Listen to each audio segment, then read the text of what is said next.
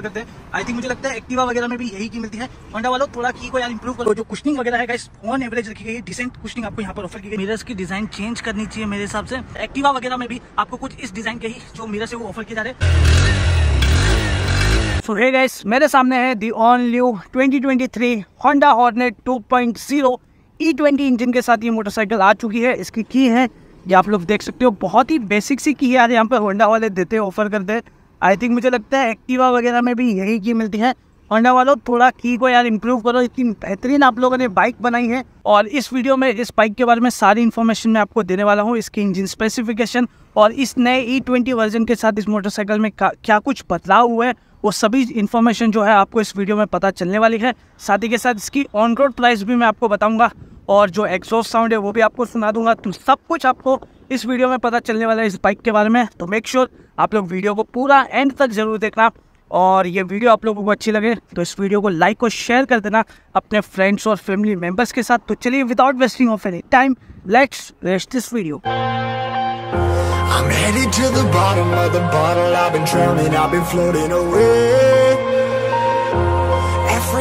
Dollar that I got in bed I probably went and pissed it away. I ain't fucking okay. I ain't liking it day I don't even wanna talk. I'm just smoking. तो वैसे सबसे पहले बात करें इस Honda Hornet के lighting department के बारे में। तो यहाँ पर हेडलाइट देख सकते हो, जिसकी जो डिज़ाइन है स्पेशली बहुत ही ज़्यादा खूबसूरत है। तो इसमें आपको एलईडी लाइट्स मिलती है, मैं ऑन करके दिखा देता हूँ। तो अभी डे टाइम है तो आपको इतना आइडिया नहीं आएगा। उसके लिए मुझे बाइक को स्टार्ट करना होगा। यहाँ पर मैं स्टार्ट कर लेता हूँ। तो ये मैं अभी फास्ट स्विच अप्लाई कर रहा हूँ तो एक आइडिया आ जाएगा कि इसका जो इल्यूमिनेशन है वो कितना है बाकी जो इंडिकेटर से ये आपको एलईडी में मिलता है। पीछे के तरफ़ चले तो इस डिपार्टमेंट पर भी होंडा वालों ने अच्छा काम किया है, क्योंकि यहाँ पर आपको इसमें एक्स शेप में टेल लाइट ऑफ़र की गई है, जिसमें भी आपको एलईडी लाइट से देखने मिलती है। स्पेशली इसका जो लुक है, बहुत ही ज़्यादा खूबसूरत लग रहा है, और जो पीछे के इंडिकेटर्स है यहाँ पर आपको एलईडी में ही ये इंडिकेटर्स ऑफ़र किए गए। तो इन शॉर्ट इस मोटरसाइकिल में आपको कहीं पर भी हेलोजन बल्ब नहीं देखने मिलेगा। ऑल एलईडी लाइट्स के साथ आपको हॉर्नेट देखने मिलती है और नंबर प्लेट के लिए जो लाइट दी जाती है इवन यहाँ पर भी होंडा वालों ने एलईडी लाइट्स दी है तो होंडा वालों की यहाँ पर तारीफ़ करनी होगी। बाकी रिफ्लेक्टर आपको यहाँ पर मिलता है तो सेफ्टी पॉइंट ऑफ़ व्यू से भी होंडा वालों ने बहुत ही ज़्यादा ध्यान रखा है इस मोटरसाइकिल में। बाकी बात करें इस मोटरसाइकिल के टायर्स ब्रेक्स एंड सस्पेंशन के बारे में तो स्टार्ट करते हैं फ्रंट से। तो फ्रंट में I think 276 seventy mm diameter के साथ यहाँ पर डिस्क ब्रेक ऑफ़र की गई है। इसी के साथ आपको यहाँ पर एबीएस भी मिल जाता है फ्रंट में। और वहीं बात करें टायर साइज़ के बारे में तो 110 टेन बाई सेवेंटी सेक्शन का टायर देखने मिलता है, जिसमें आपको यहाँ पर 17 इंच का अलॉय व्हील देखने मिल जाता है। एंड ये अलॉय व्हील्स के यहाँ पर एक स्ट्रिप दी गई है ग्रे कलर में और वाइट कलर में। तो जिसके कारण जो लुक्स आ रहे हैं, बहुत ही शानदार यहाँ पर दिखने मिलते हैं। बाकी वहीं बात करें सस्पेंशन के बारे में तो यहाँ पर आपको U S T four offer किया गया है इस बाइक में। आई थिंक ये फ़र्स्ट इन सेगमेंट वाली बाइक थी, जिसमें इस सेगमेंट में फ़र्स्ट टाइम आपको U S D four offer किए गए थे। हो सकता है शायद मैं रॉन्ग भी हो रहा हूँ, लेकिन मुझे लगता है शायद हॉर्नेट में ही आपको सबसे पहले two hundred C C segment में U S D four offer किए गए थे। बाकी दोनों साइड आपको रिफ्लेक्टर मिल जाते हैं। तो सेफ्टी पॉइंट ऑफ़ व्यू से भी यहाँ पर अच्छा काम किया गया है। और निसिन के यहाँ पर आपको ब्रेक कैलिपर्स मिलते हैं। और वहीं बात करें रियर टायर सेक्शन के बारे में। तो यहाँ पर जो टायर्स आपको देखने मिलते हैं, दोनों जो टायर्स हैं वो एमआरएफ के जेपर वाले टायर्स आपको मिलते हैं। इसका जो सेक्शन है वो है 140 फोर्टी बाई सेवेंटी सेक्शन का, जिसमें आपको सेम सेवेंटीन इंच का ही अलॉय व्हील देखने मिलता है। यहाँ पर भी वो जो ग्रे स्ट्रिप है वो दी गई है। बाकी पीछे भी आपको 220 ट्वेंटी mm के साथ ये डिस्क ब्रेक देखने मिलती है, जिसमें आपको सेम निसिन के ही ब्रेक कैलिपर्स देखने मिलते हैं। और वही बात करें इसके रियर सस्पेंशन के बारे में तो यहाँ पर आपको मोनोशॉक देखने मिलता है। इसको आप लोग अपने अकॉर्डिंग एडजस्ट भी करा सकते हो। इस बात करें, इस होंडा हॉर्नेट 2.0 के हार्ट के बारे में, यानी कि इस मोटरसाइकिल के इंजन के बारे में तो बस यहाँ पर देखो 184.4 सीसी डिस्प्लेसमेंट के साथ ये इंजन देखने मिलता है। ये जो 2.0 है, इससे आप लोग ये मत समझना कि ये 200 सीसी का इंजन है। 184 सीसी के साथ ये इंजन आपको देखने मिलता है। जो आपको करीबन 17.6 के आसपास जो है पावर निकाल के देता है 8500 आरपीएम पर और जो टॉर्क है, वो आपको करीबन 16.1 न्यूटन मीटर के आसपास देखने मिल जाएगा 6000 आरपीएम पर और वहीं जो ट्रांसमिशन है, यानी कि जो गियर बॉक्स है फाइव स्पीड के साथ आपको इस मोटरसाइकिल में देखने मिलता है। यानी कि जो नंबर ऑफ़ गियर्स है, इस मोटरसाइकिल में फाइव देखने मिलते हैं, एक डाउन बाकी सारे ऊपर की तरफ़ आपको गियर दिए गए तो टोटल पाँच गियर आपको इस मोटरसाइकिल में देखने मिलते हैं। तो बाकी कूलिंग के बारे में बात करें तो यहाँ पर आपको एयर एंड ऑयल कूल के साथ ये इंजन देखने मिलता है। तो एज सच आपको हीटिंग के मामले में भी इस मोटरसाइकिल में कोई भी दिक्कत नहीं होगी। बाकी इंजन के यहाँ पर आपको ये टाउल भी दिया गया है। तो सेफ्टी वगैरह से यहाँ पर अच्छा काम किया गया स्पेशली ये जो पाइप देख रहे हो, यहाँ पर आपको कैटेलिटिक कन्वर्टर देखने मिलता है। तो उसकी भी प्रोटेक्शन हो जाती है। बाकी अब बात करते हैं इस मोटरसाइकिल के टॉप व्यू के बारे में। तो यहाँ पर आपको स्प्लिट टाइप की सीट ऑफ़र की गई है। तो जो कुशनिंग वगैरह है गैस ऑन एवरेज रखी गई है। डिसेंट कुशनिंग आपको यहाँ पर ऑफ़र की गई है। तो ना ज़्यादा सॉफ्ट फील होगी और ना ज़्यादा हार्ड स्पेशली जो पिलियन वाली सीट है, इसकी कुशनिंग जो है थोड़ी सी हार्डर है एज़ कंपेयर टू राइडर के। इसकी कुशनिंग थोड़ी सॉफ्ट है। बाकी पिलियन के लिए यहाँ पर आपको ग्रैब रेल्स भी मिल जाते हैं बड़े तो तो होल्ड वगैरह करने में काफ़ी आसानी होगी। बाकी इस तरफ़ आपको 12 लीटर का फ्यूल टैंक देखने मिलता है तो काफ़ी इनफ है इस मोटरसाइकिल के लिए। और यहाँ पर फ्यूल टैंक यहाँ पर आपको हॉर्नेट के ग्राफिक्स पे देखने मिल जाते हैं।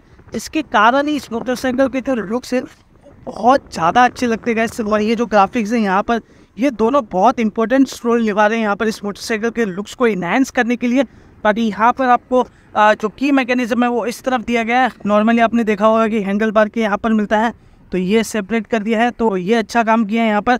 बाकी इस तरफ़ आपको फुली डिजिटल कंसोल देखने मिलता है, जिसमें जितनी इन्फॉर्मेशन है, वो भी सब आपको डिजिटल में देखने मिलती है। स्पीडोमीटर आप लोग देख सकते हो। जो टेकोमीटर है, वो कम्प्लीटली जो है इसके कॉन्सोल को कवर कर रहा है। बाकी यहाँ पर बैटरी का जो लेवल है, वो आपको शो करेगा। आपकी जो बाइक की बैटरी है टाइम वगैरह आपको यहाँ पर शो हो जाता है। फ्यूल गेज यानी कि आपके बाइक में कितना पेट्रोल है, वो सब भी आपको यहाँ पर शो करेगा। और इसी के साथ आपकी जो बाइक है, वो कौन से गियर में है तो यहाँ पर गियर पोजिशन इंडिकेटर भी आपको मिलता है। और अगर आपको ट्रिप वगैरह जो है ऑडोमीटर वो है सेट वगैरह करना है तो ये दो बटन्स दिए गए हैं। इनकी हेल्प से आप लोग इनको टॉगल वगैरह कर सकते हो। और इस तरफ़ सारे इंडिकेशन जैसे कि साइड स्टैंड पर अगर आपकी बाइक खड़ी है तो वो इंडिकेशन भी आपको यहाँ पर शो करता है हाई बीम का। एबीएस यानी कि एबीएस जो है, वो आपका ऑन है या ऑफ़ है, वो भी आपको यहाँ पर शो करेगा। न्यूट्रल और इंजन मेल फ़ंक्शन तो इस तरह के सारे इंडिकेशन आपको देखने मिल जाते हैं इस मोटरसाइकिल में। हैंडल बार आप लोग देख लो सिंगल बार वाला आपको यहाँ पर हैंडल बार ऑफ़र किया गया है। उसके राइट हैंड साइड में आपको इंजन किल स्विच देखने मिलता है। हज़ार स्विच आपको यहाँ पर दिया गया है और उसके ठीक नीचे आपको यहाँ पर सेल्फ का बटन देखने मिल जाता है। और ब्रेक लीवर जो है, ये आपको नॉन एडजस्टमेंट के साथ आता है तो आप लोग अपने अकॉर्डिंग इसको एडजस्ट नहीं कर पाओगे। एंड जो डिस्टेंस है, वो भी काफ़ी सही है तो अपने हाथों को ज़्यादा स्ट्रेच नहीं करना पड़ेगा। इतना कुछ आपको हाथों को स्ट्रेच करना है तो लॉन्ग राइड में भी आपको हाथों में जो है प्रॉब्लम नहीं होगी। बाकी लेफ़्ट हैंड साइड में हाई बीम लो बीम उसके ठीक नीचे टर्न इंडिकेटर ये हॉर्न है। हॉर्न भी आप लोग इस मोटरसाइकिल का सुन लो। तो काफ़ी लाउड है, लेकिन जो बेस है, वो थोड़ा सा कम आपको फील होगा। पास स्विच आपको इस तरफ़ देखने मिलता है तो क्लच लीवर है। ये भी आपको नॉन एडजस्टमेंट के साथ आता है तो आप लोग अपने अकॉर्डिंग एडजस्ट नहीं कर पाओगे। और इसका जो डिस्टेंस है, वो कुछ इतना है तो आपको हाथों को कुछ इतना स्ट्रेच करना होगा। तो ये भी सही है, ज़्यादा दूर पे नहीं रखा गया इसके क्लच को। आगे इस तरफ़ जो इसके मिरर्स आप लोग देख रहे हो, बहुत बेसिक से मिरर्स आपको मिलते हैं।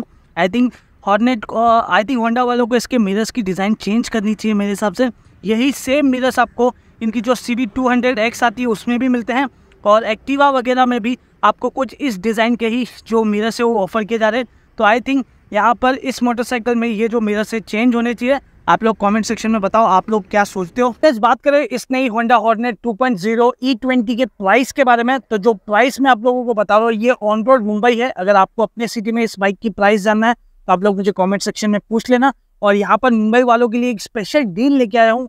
तो अगर आप लोग मुंबई महाराष्ट्र से हो तो इसकी जो एक्स शोरूम प्राइस है, आपको करीबन one lakh sixty eight thousand और वन लैख सेवेंटी थाउज़ेंड के आसपास मुंबई में देखने मिलेगी इसकी ऑन रोड प्राइस लेकिन अगर आप लोग हमारे सब्सक्राइबर हो और हमारा नाम यूज़ करते हो, नीचे मैं डिस्क्रिप्शन में आपको डिटेल्स दे दूँगा शोरूम की तो वहाँ पर जाओ तो हमारा नाम यूज़ करो। तो ये जो बाइक है, ये आपको करीबन one lakh sixty three thousand में ही मिल जाएगी। ऑन रोड प्राइस बता रहा हूँ। तो अगर आप लोग मुंबई, महाराष्ट्र से हो तो वहाँ पे कॉल करो। जो डिटेल्स है वो शोरूम्स की, वो भी मैं नीचे डिस्क्रिप्शन में प्रोवाइड कर दूँगा। तो आप लोग वहाँ पे कॉल करके अपने जितने भी डाउट्स वगैरह है या आपको इस बाइक को चलाना है तो वो सब भी आप लोग यहाँ पर कर सकते हो। बाकी उम्मीद करता हूँ आपको ये जो शॉर्ट सिंपल वीडियो है, वो पसंद आई होगी। बाकी इसी तरह की वीडियोस देखने के लिए हमारे पेज को और हमारे चैनल को अभी के अभी सब्सक्राइब कर लो। मैं मिलता हूँ इसी तरह की एक और नई वीडियो के साथ। तब तक के लिए पीस आउट